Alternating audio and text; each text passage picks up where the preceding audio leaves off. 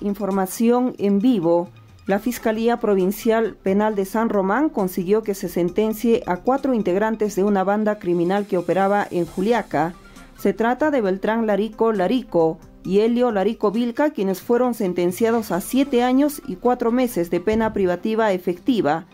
Además de René Cachi Choque a 12 años y 11 meses y a Víctor Hugo Yana Chipana a 10 años y 5 meses por los delitos de banda criminal, tenencia ilegal de armas y receptación agravada.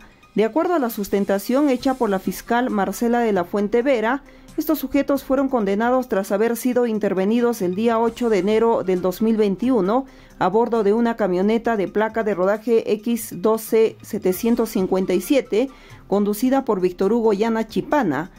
La intervención se realizó por las inmediaciones del jirón José Balta con Manuel Acosta en la ciudad de Los Vientos.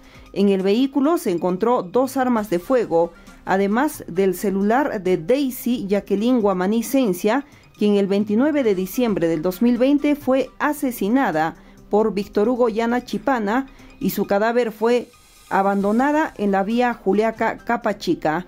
Para Exitosa Perú, informó Lourdes Calla en Puno 89.5 de la FM, la voz de los que no tienen voz.